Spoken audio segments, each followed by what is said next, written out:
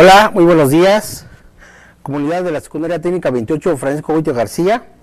Eh, me presento, algunos ya me conocen. Turno vespertino, profesor Hugo Camacho Salas, de la materia de español. Bueno, jóvenes, eh, en esta ocasión les doy la, más cordial bienvenida nuevamente a la escuela. Eh, ojalá que todos ustedes hayan tenido pues un mal momento no desagradable en su casa, tan desagradable. Pero bueno, la vida sigue, este, hay que echarle muchas ganas a esto. Y bueno, vamos a empezar con, con el tema, eh, que es el proyecto número 4, ámbito de estudio, que es práctica social del lenguaje, que es participar en mesas redondas, ¿verdad? Bueno, ok. Eh, se preguntaron ustedes qué es una mesa redonda. Bueno, una mesa redonda es una técnica que consiste en reunir un grupo de personas, mínimo tres personas, para poder realizar esta mesa redonda, en donde cada uno de ustedes eh, va a tener que hablar acerca de un tema de interés, de interés de ese, de ese grupito, ¿verdad? acerca de un mismo tema. Bueno, eh, una mesa redonda, jóvenes, eh, está compuesta por un moderador, audiencia y expositores. ¿Ok? Bueno, eh, el moderador eh, tiene la función de dar la pausa a los integrantes que son los expositores. Eh, les da el tiempo, les da este, la pauta para que cada uno de ellos hable y este, no se interrumpa a la vez un tema de interés. Y bueno, eh, también el moderador tiene la, este, puede eh, de alguna manera parar la, la, mesa redonda cuando él ve que de alguna manera se están saliendo del tema y se están este, alterando de alguna manera los expositores. La audiencia eh, también tiene un lugar importante porque al final, al final de cada, de cada intervención, este, de, cada, de cada mesa redonda, pues pueden hacer este, preguntas hacia los expositores eh, eh, acerca del tema, ¿verdad? Bueno, antes de empezar eh, acerca de la, de la, mesa redonda, tenemos que investigar acerca del tema.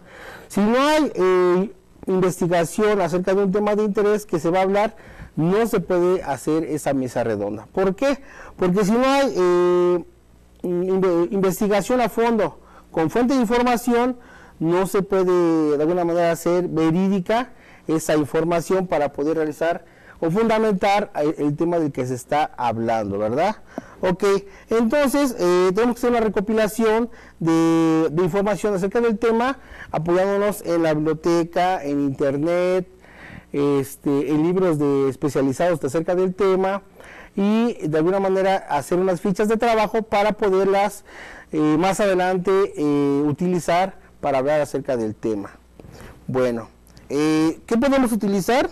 Pues biblioteca, como les había comentado, documentales, entrevistas con expertos, instituciones públicas, encuestas hacia la gente del tema, periódicos y revistas y programas de radio y televisión que yo les sugiero el canal 11, el 22 y el 40, que es donde se encuentran alguna, de alguna manera pues eh, temas de interés y, que son importantes de ver, culturales. Bueno, también eh, es importante saber que, en esta mesa redonda, pues desafortunadamente ahorita no estamos en la escuela para poder elaborar en equipos y hablar acerca del tema pero en su casita, pues ustedes pueden apoyarse con los papás, escoger un tema de interés eh, en donde pueden ustedes utilizar al papá o a la mamá del, moderador y los expositores podrían ser sus hermanos, amigos o compañeros de escuela para poder realizar esa mesa redonda.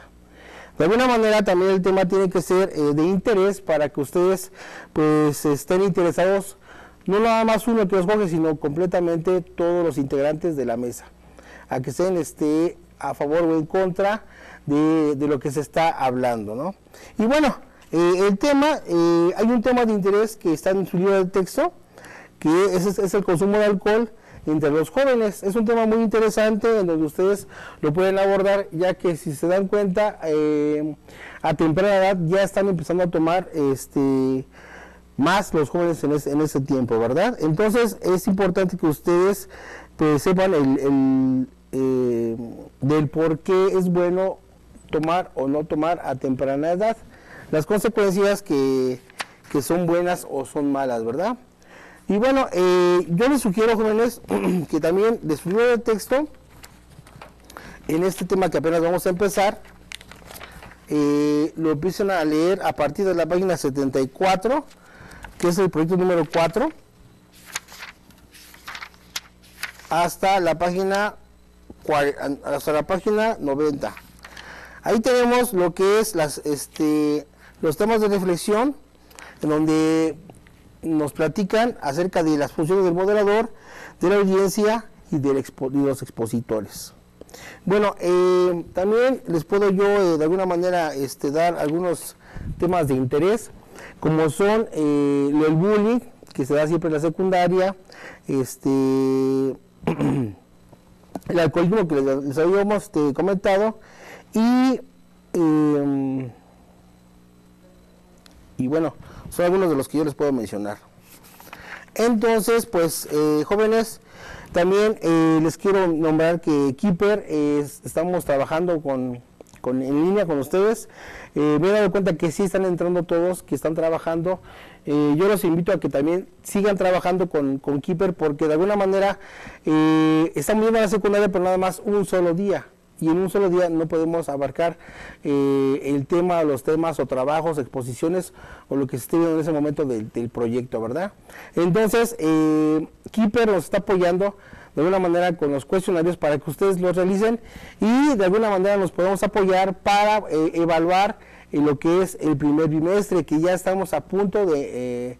Este, de, de, calificarlo, ¿verdad? Entonces es importante, jóvenes, que semana a semana, pues ustedes eh, suban, digo, entren a internet y vean todo lo que este lo que tienen que hacer, no nada más de la materia de español, sino de todas las materias, para que de alguna manera no se atrasen y sigan avanzando en cuanto a las materias y en cuanto a sus calificaciones. Entonces yo sí los exhorto a que ustedes eh, sigan trabajando, no se desanimen. Eh, los días que nos toca, que son los lunes en, en español en la secundaria Tinga 28 turno vespertino, pues no dejen de asistir porque de alguna manera un día que nos toca y no van, pues entonces va a ser más difícil el podernos este, comunicar para su evaluación y la forma de trabajar. Yo los invito jóvenes nuevamente a que sigan trabajando, no dejen de asistir a la escuela y entren a Keeper School. Pues por mi parte, muchas gracias. Eh, ojalá que la sigan este, pasando muy bien en su casita y que este, no hayan habido tantos problemas de, de salud. Gracias.